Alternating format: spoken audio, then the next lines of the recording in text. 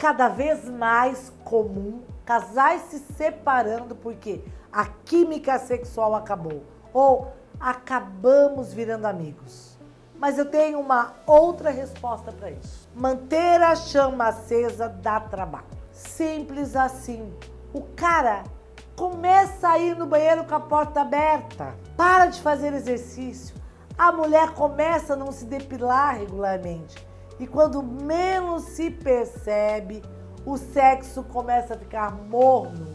E depois de um tempo, viramos amigos. O problema que eu vejo muitos casais se deparando é: tá bem, mas por que meu tesão acaba?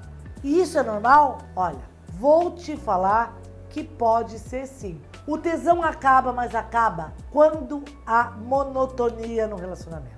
Acontece quando não há novidades, quando não se quebra a rotina e quando não há fantasias, tanto suas como delas e de vocês.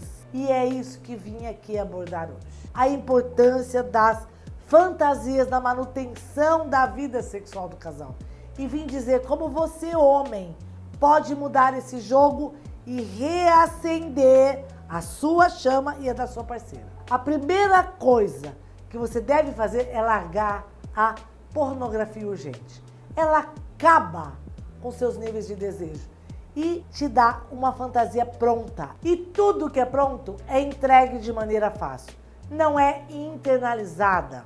Por mais que você assista a fantasias nos sites adultos, não desenvolverá a sua. Para criar suas fantasias, é necessário imaginar e criar no cérebro.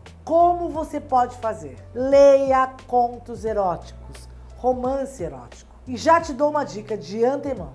Leia contos onde o título não é necessariamente tão interessante. Você pode descobrir algo novo. Muitos homens acabam desenvolvendo fantasias com enfermeiras ou professoras ou qualquer outra coisa assim. E não é só isso. Ao ler contos, você não desenvolve a fantasia estereotipada como essas, e sim com mais detalhes e nuances, com intenções pensamentos escondidos e taras que ela mesma possa ter. Por isso que batemos tanto em nosso treinamento para você se erotizar lendo contos eróticos e usar a imaginação. Quanto mais contexto, mais recurso você vai ter para se manter excitado pela sua esposa, com um casamento ativo sexualmente. Agora, tem uma outra coisa que pode ser muito mais legal ainda compartilhar as suas fantasias com ela e saber o que deixa ela curiosa para experimentar. Lembra o que te disse agora há pouco sobre imaginar diferentes versões dela? Agora, imagi agora imagina você descobrindo fantasias que ela tem que você nem imaginava. Quanto excitante pode ser isso? Outra coisa bacana é poder contar as suas fantasias e ter elas realizadas. Já pensou nisso? Se sua mulher te ama e quer apimentar a relação, e acredite, quase todas querem, só tem medo ou vergonha de falar, vai topar. E é isso aí, o mundo é seu. Peça para ela usar lingerie sexy, ou melhor, para ela, experimente algemas, velas, tudo o que a imaginação mandar. Mas tem um porém, muito importante. Ao ouvir as fantasias dela, Nada de neuras, ok? Não fique naquela noia do tipo, será que ela tem fantasiado com outros? Isso só vai te atrapalhar.